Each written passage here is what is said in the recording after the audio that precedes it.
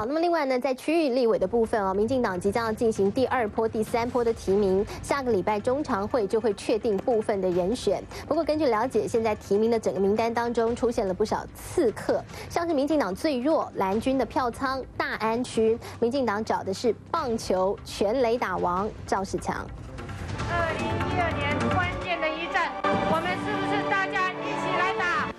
这样的气魄，民进党总统人选出炉了，区域立委选举也不能慢。第二波提名下周就会公布，最受瞩目的就是他棒球全垒打王赵世强，将披绿袍深入蓝营票仓大安区这场局表现的是最好的一场局，那我也相信他应该在下个礼拜再给他一次这个鲜花的机会。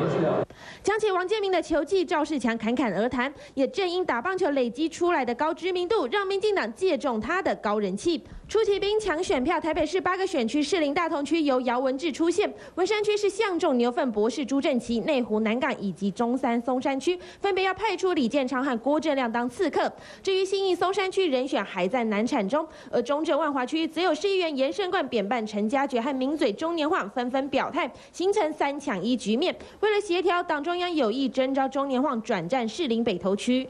我觉得我不选也无所谓，好，因为跟我的初衷已经不太一样。那我觉得人做事情要跟原来的目的一样。眼看立委选举时间逼近，民进党找刺客要打破国民党四年前八仙过海传说。三立新闻黄大峰、邱婉柔台北报道。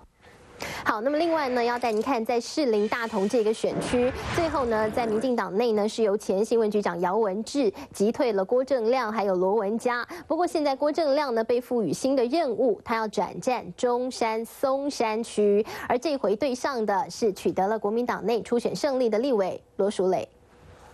立委选举大打蒋家政权牌，郭正亮对决蒋孝严。虽然主打威权政治，但郭正亮还是败北。不过四年前的选战，这一次又要在中山松山区重演，但对手换成了罗淑蕾。其实现在是有征询，我们四年前刚好是民进党是最低迷的时候，那现在已经站起来了，所以整个情势是刚好相反。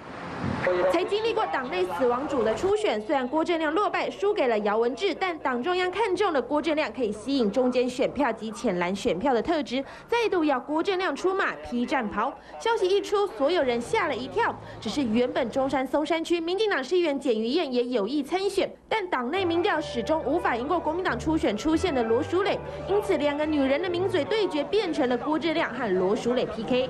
反正不管是谁来参选，我们都要很努力的哈。那那是有很大的把握了，应该我们会赢。面对突如其来的对手，卢淑蕾毫不担心。中山松山区谁能获胜？蓝绿磨刀霍霍。三立新闻黄大峰、邱婉柔台北报道。好。